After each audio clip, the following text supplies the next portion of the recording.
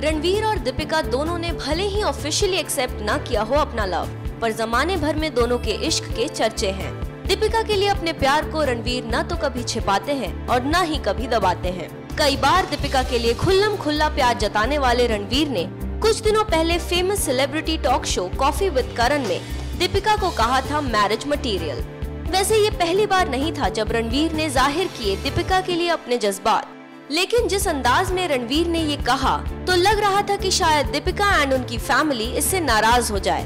अब जब दीपिका के फादर प्रकाश पादुकोण सामने आए और उनसे पूछा गया रणवीर के कमेंट के बारे में तो प्रकाश पादुकोण ने दिया वो जवाब, जिसे सुनकर रणवीर की खुशी का ठिकाना नहीं रहेगा।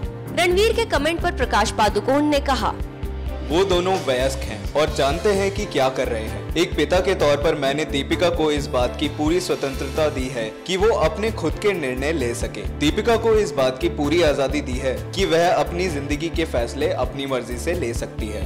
प्रकाश पादुकोण की बात सुनकर आपको ऐसा नहीं लग रहा कि उन्होंने रणवीर और दीपिका को दे दिया है शादी का ग्रीन सिग्नल तो क्या जल्दी ही रणवीर और दीपिका शादी करने का प्लान बना सकते हैं? शायद हाँ क्योंकि दोनों के पास पद्मावती के सेट पर इसके लिए काफ़ी वक्त रहेगा।